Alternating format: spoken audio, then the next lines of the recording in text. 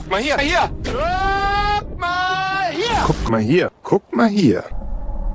Guckt mal hier. Guck mal hier, das bin nicht ich, sondern das ist ein von Sora 2 generierter Keno. So, jetzt bin ich aber wieder echt. Ja, alles KI generiert. Ich finde, ich sehe relativ echt aus, aber die Stimme, ja, die klingt falsch. Klingt nicht nach mir, finde ich. Sora 2 von den ChatGPT-Machern von OpenAI ist auf jeden Fall ziemlich beeindruckend. Es zeigt aber auch, dass die großen KI-Firmen gerade womöglich ziemlich in der Sackgasse stecken. In diesem Video seht ihr, was Sora 2 kann, was es nicht kann und das ist auch ein bisschen lustig, was es nicht kann, muss ich sagen. Wie man es bekommt und was das große Problem bei Sora ist. Ich habe für diesen Test über 200 Videos generiert. Bleibt dran. Liebe Hackerinnen, liebe Internetsurfer, herzlich willkommen hier bei, bei, bei, bei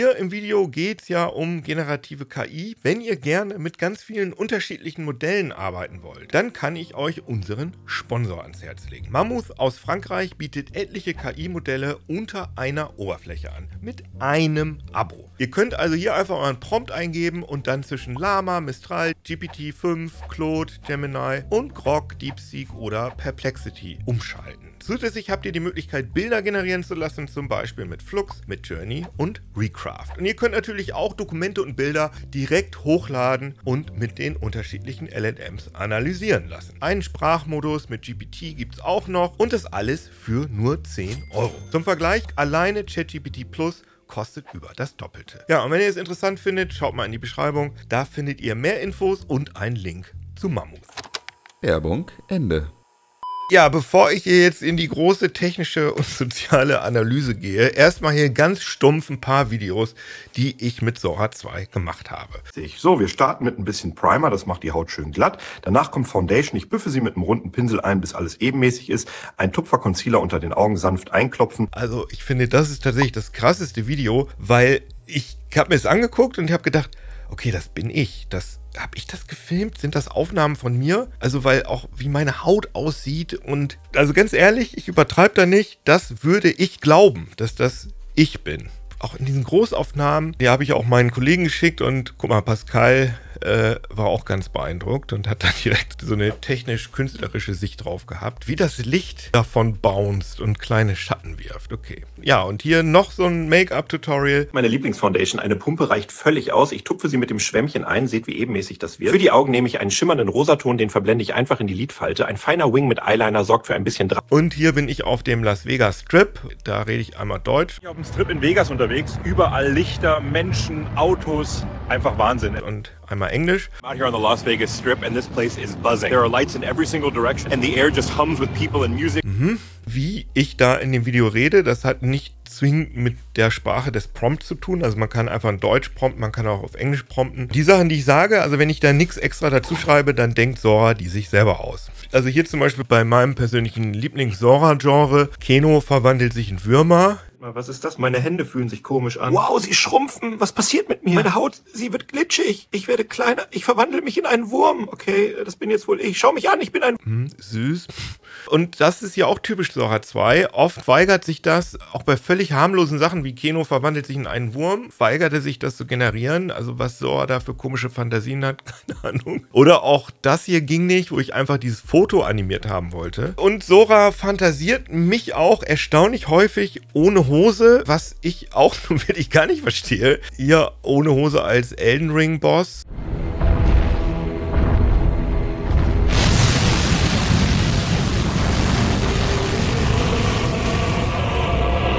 Und was ich auch interessant finde, das ist mich offenbar selbstständig ostfriesisch verortet. Komplett ohne Prompt. Ich habe da also einfach nur meinen Namen gepromptet und dann steht da auf einmal Moin auf der Kaffeetasse. Zeige ich euch, wie ich mir morgens schnell einen Kaffee mache. Einfach schnell. Und der riecht schon richtig gut. Oder auch wenn ich einfach prompte Keno als Reporter, ja, dann wirft Sora mich nach Emden. Hier am Hafen von Emden, hinter mir wird gerade das neue Fährterminal für die Inseln gebaut. Sowieso ganz lustig, diese lustige Berufe prompten. Zum Beispiel Zugbegleiter stellt Sora sich total typisch amerikanisch vor. Das geht offenbar nur so retromäßig mit so einer altmodischen Uniform, weil Züge gibt es ja heute fast gar nicht mehr in den USA. Ich bin Janni, heute euer Schaffner. Fahrscheine bitte, wir sind gleich in Bremen. Hier, bitte. Dankeschön. Einmal nach Hamburg. Alles klar. Ich stanz das schnell. So, bitteschön. Einen schönen Tag noch. Und wer noch keinen Fahrschein hat, einfach. Viele Sachen sehen auf jeden Fall gut aus, finde ich. Aber viele sehen auch gar nicht mal so gut aus. Vor allem, wenn ich irgendwas Cinematisches haben will, wie diese Film-Noir-Szene hier, dann sieht der Hintergrund oft so richtig billig computergeneriert aus, wie aus einem alten Computerspiel. Die Akte ist verschwunden. Wenn sie jemand findet, fällt das ganze Ministerium. Morgen 23 Uhr am Hafen. Keine Namen. Bis dahin. So, wir haben keine Zeit. Die Protokolle gehen morgen raus. Wenn das durchkommt, ist alles vorbei. Ich treffe den Informanten um Mitternacht. Aufzuräumen. Nicht mit mir. Das war für Rico. Boah. Ja, und obwohl Sora besser Physik versteht als andere KI-Generatoren, weiß es offenbar nicht so genau, wie die Kulturtechnik des Rauchens funktioniert. Naja, erstmal noch ein bisschen tanzen, ne? Hey, pass auf, jetzt kommt's. Los geht's. Yes.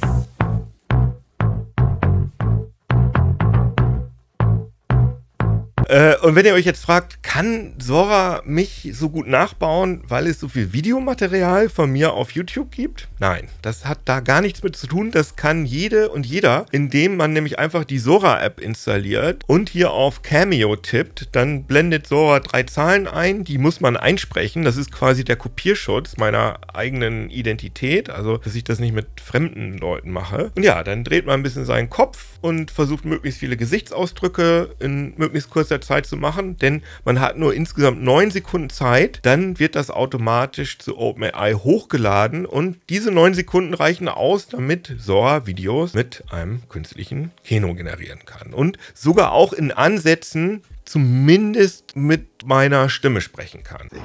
Mein Name ist Janni Jansen. Janni Jansen, genau. Freut mich, dich kennenzulernen. Bis später. Also meine Stimme klingt meiner Meinung nach nur ein ganz bisschen wie meine echte Stimme. Das Problem hatte ich aber auch bei anderen KI-Diensten wie Eleven Labs schon. Das ist die Zukunft des Browsers. Opera One heißt das Teil und der macht einiges anders als Safari, Chrome oder Firefox. Irgendwie spreche ich offenbar komisch. Bei anderen Leuten, wie zum Beispiel dem deutschen Streamer Papa Platte, klingt die aus diesen 9 Sekunden Training generierte Stimme schon, finde ich, ziemlich echt. Also dieser Kanal CT3003 ist einfach nur der Hammer. Die Reviews, die Bilder, wie die alles auseinandernehmen. Feiere das total. Die Videos sind jedes Mal auf dem Punkt, da steckt so viel Wissen drin. Ja, und wenn ihr euch jetzt fragt, hä, wieso könnt ihr denn Papa Platte Videos generieren? Hat er euch die Daten gegeben oder was? Nein, sondern alle können diese Videos machen, denn er hat sein Cameo für alle freigegeben, so wie auch Sam Altman, Jake Paul, I. Justine und Ricky Burwick. Das könnte man jetzt erstmal total creepy finden, also würde ich creepy finden, dass alle mit meinem Aussehen irgendwelchen Quatsch machen können, ohne jegliche Hürden, aber die Leute steigern damit offenbar auch ihre Popularität. Also zumindest wenn ich durch TikTok swipe, dann ist da ziemlich oft der Sora-generierte Kevin Teller aka Papa Platte zu sehen. Noch öfter sehe ich allerdings Tupac, Michael Jackson, Martin Luther King und andere tote Berühmtheiten, die alle von der Inhaltesperre von Sora durchgelassen werden. I have a dream that Tung Tung Tung Sahora will get a low taper fade and it will cost six, seven barbershop headquarters. Mein Cameo habe ich übrigens nicht freigegeben. Also man kann diese Datenschutzeinstellungen einigermaßen detailliert justieren. Man kann auch einstellen, ob OpenAI die Sachen fürs eigene Training verwenden darf oder nicht. Und diese Sora-Videos mit echten Menschen, das ist auf jeden Fall gerade ein Hype. Und ich könnte mir gut vorstellen, dass das auch auf längere Sicht ein Meme-Genre sein wird. Also echte Leute in lustigen KI-generierten Situationen. Ganz ehrlich, ich finde das teilweise schon auch witzig. Da stecken manchmal schon ganz gute Ideen drin. Ich bin da halt auch gerade im Thema und kann die Dinger sofort identifizieren. Also ich sehe, ob das Sora ist oder nicht. Ich nehme aber auch wahr, dass einigen Leuten das eben nicht gelingt und dass die die Sachen halt für echte Videos halten. Also klar, OpenAI baut da überall so wabernde Sora-Wasserzeichen ein, aber hey, das kann man wirklich ziemlich einfach wegblurren in jedem Videoschnittprogramm. Es gibt natürlich auch längst Tutorials zum Wegmachen der Wasserzeichen hier auf YouTube. Und andere Leute, die nicht so in der Tech-Bubble sind, die wissen ja eh gar nicht, was Sora ist. Ich war neulich zum Frühstück eingeladen und habe den Gastgeberinnen im Messenger vorher dieses Video hier geschickt. Ich, ich, ich, ich, ich freu, freu, mich, mich, freu mich, mich schon, ne, schon aufs Frühstück. Ich freue mich schon aufs Frühstück, ich freue mich schon aufs Frühstück. Einfach ohne Kontext und die haben das nicht gecheckt, dass das KI generiert ist. Die haben da halt mit einem Auge hingeguckt, irgendwie so beim Tischdecken oder so und dachten halt, ach Keno, der macht ja so Sachen mit Videos, der hat uns da jetzt so ein lustiges Video aufgenommen. Ah ja, cool. Und das sind auf jeden Fall junge, medienkompetente Leute, nur die sind halt nicht in der Tech-Bubble. Das heißt, die haben das nicht permanent auf dem Schirm, dass äh, man so einfach KI-Videos generieren kann von sich selbst. Also ganz klar, und das ist jetzt auch ein ziemlich langweiliger Take, Videos im Internet kann man nicht mehr trauen und das ist ja eigentlich auch schon lange so. Aber Videos sind halt jetzt noch ein bisschen einfacher zu faken. OpenAI hat das Ganze jetzt nochmal deutlich einfacher gemacht. Das kann man jetzt erstmal festhalten, das ist so und die Zahnpasta kriegt man auch nicht wieder in die Tube. Und jetzt zurück damit, das kriege ich doch irgendwie wieder rein. Uff, warum ist das so glitschig? Komm schon, vielleicht mit einem Löffel. Es wird deshalb immer wichtiger, immer drauf zu gucken, wer Videos postet, also ob man der Quelle vertraut. Und deshalb haben wir bei CD3000A ja auch schon seit längerem die hochoffizielle Regel, dass wir nicht mit KI-generierten Inhalten arbeiten. Ja, ich weiß, dass dieses Video hier zu großen Teilen aus KI-generierten Inhalten besteht, aber ich denke, dass das in dem Fall logisch ist. Ne? Also ein Video über Sora, da zeigt man Sora-Inhalte. Was ich natürlich meine, sind KI-generierte Inhalte, um irgendwas zu bebildern, für das man eigentlich keine Bilder hat oder keine Lust hat, eigene Bilder dazu zu machen und das natürlich auch nicht deklariert. Bei uns alles schön Bio aus der 3003 Bild-Text-Ton-Manufaktur. Also, das ist jetzt erstmal der offensichtliche Take. Was ich aber obendrauf total interessant finde, dass Sora jetzt im Gewand einer Social Media App daherkommt. Ja, also bislang waren KI-Tools ja meistens Websites und dann gab es vielleicht irgendwann eine Mobil-App. Bei Sora ist das jetzt so, dass man das Ding nur benutzen kann, wenn man die iOS-App installiert und sich da zumindest einmal eingeloggt hat. Im Moment braucht man dafür einen Einladungscode und einen US App Store Account, um die Sora-App zu installieren. Hat man das dann auf iOS einmal zum Laufen gebracht, also auch in Deutschland. Dann braucht man dafür kein VPN, muss sich also nicht in die USA tunneln. Will man Zugriff auf Sora 2 über die Website, dann muss man kurz sich in die USA tunneln mit dem VPN. Was auch ein bisschen weird ist, das Anliegen von so einem Cameo von sich selbst geht nur mit der App. Das Generieren von Querformat-Videos geht nur über die Website. Also mit der App kann man nur Hochformat generieren. Naja, es ist auf jeden Fall alles zurzeit noch komplett kostenlos. Man braucht für Sora 2 auch kein Plus-Abo oder so. Und man kann am Tag damit zurzeit, also als ich dieses Video gemacht habe, war es auf jeden Fall so, 30 Videos am Tag generieren. Aber wie gesagt, um überhaupt loslegen zu können, braucht man die App. Und die, Achtung, jetzt kommt's, die baut offensichtlich TikTok nach. Beziehungsweise Instagram oder YouTube Shorts, die ja wiederum auch bei TikTok abkupfern. Aber ja, also man swiped da bei Sora auf jeden Fall durch einen Ozean von unendlich vielen Videos und das soll sich ebenso anfühlen wie TikTok, was ja sowieso schon ziemlich gehirnschmelzend sein kann. Aber bei Sora sind das halt noch nicht mal Videos von und mit echten Menschen, sondern mit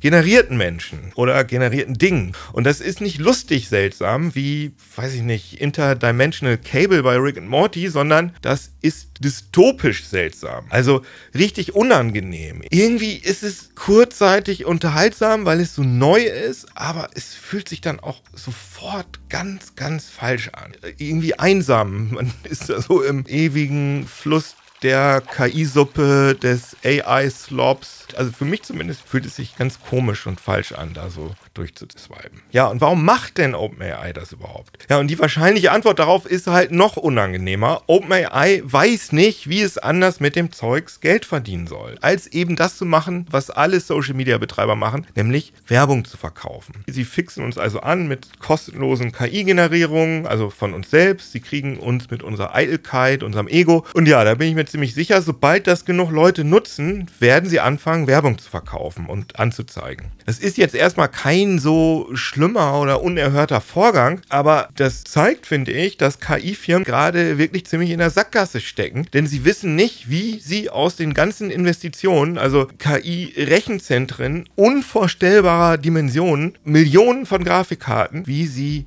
damit wieder Geld machen können. Und wenn ich mir die Weltwirtschaft gerade so angucke, klammert die sich gerade an die Hoffnung, dass KI die Produktivität auf der ganzen Welt immens steigern wird. Sonst wären die Aktienkurse ja alle nicht so extrem aufgeblasen. Und da kommt dann am Ende einfach nur das einzige Geschäftsmodell bei raus, was alle im Internet machen und was Profit verspricht, also massenweise User an sich binden und denen Werbung reinzudrücken. Und dafür diese grotesk riesigen Investitionen und Rechenzentren? Hm. Also ja, mal abwarten, wie das so weitergeht. Also wäre Sora gut genug für den professionellen Einsatz für Film- und Videoproduktion, dann könnte man ja damit Geld verdienen. Aber das ist es leider zurzeit nicht, denn die Ergebnisse haben einen ziemlich großen Zufallsfaktor und sehen auch oft ganz schön schlecht aus. Ja, vor allem kann Sora 2 Stand jetzt nicht gut einen kohärenten Look über mehrere Szenen aufrechterhalten, was man ja für professionellen Einsatz bräuchte. Also ganz stumpf, dass zum Beispiel die zweite Szene den genau gleichen Look hat wie die erste Szene, sonst kann man ja nicht zusammensetzen. Und das ist bei Sora 2 ziemlich Glückssache. Ja, und das ist auch in der Pro-Version so, die ziemlich teuer ist. Die kostet nämlich entweder 200 Dollar im Monat im Rahmen des ChatGPT Pro-Abos oder einzeln über API abgerechnet 50 Cent pro Sekunde bei der höchsten Auflösung von 1792 mal 1024 Pixeln, also 7,50 Dollar für ein 15-Sekunden-Video. Das ist die maximale Länge. Bei dem von mir getesteten kostenlosen normalen Sora liegt die Auflösung bei 1280 x 704 Pixeln. Da sind die Videos alle immer 10 Sekunden lang. Ja, halten wir fest, Sora 2 kann recht beeindruckende Dinge. Das reicht aber noch lange nicht, um wirklich menschgemachte Videos oder Filme zu ersetzen. Was aber wirklich interessant ist, dass OpenAI das offenbar glaubt, dass ihre KI-generierten Inhalte ausreichend gut sind, dass Leute freiwillig durch Sora swipen wollen, statt durch TikTok, Insta oder YouTube. Äh, ich, vielleicht bin ich auch so ein Bio-Snob, der denkt, sein Geschmack ist noch nicht so verkümmert, dass er sich jeden Tag so KI-Slop angucken will. Ich glaube aber, dass es den meisten Menschen so geht. Also ich muss schon zugeben, dass Sora ein witziges Ding ist, was wirklich ein paar Tage Spaß macht, vor allem wenn man Freunde oder Kollegen hat, die einem ihre Cameos freigeben, um sich dann gemeinsam in Videos einbauen zu können. Das ist schon lustig. Aber mal gucken, wie lange das interessant bleibt. Ich glaube nämlich nicht so lange. Und es ist natürlich auch ein riesiger Haufen an Geld und Energie, der dann dafür verwendet wird, dass ich ein bisschen in Cola schwimmen kann und dann jemand einen Minzbonbon reinwirft. Tschüss. Das ganze Haus ist voller Cola-Lei. Ich komme hier nicht raus. Es wird immer mehr. Ich kann kaum noch stehen. Was? Wer bist du? Nein, nein, kein Mentos. Das explodiert. Tu es nicht. Ja, alles